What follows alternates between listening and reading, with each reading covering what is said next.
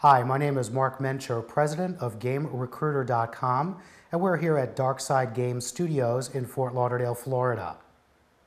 What it takes to become a video game designer is someone who has an imagination, someone who's good at creative uh, writing, um, someone who's got a very strong background in psychology or history or geography. You can't make a game like Civilization without knowing the history of the world uh, to be effective in a game like that. So game design is a mix of those skills and of course, knowing Excel, Microsoft Word, inside and out is extremely important uh, uh, for the game design career. There are schools that hand out programs now to teach you in game design, but really playing games is the most important thing.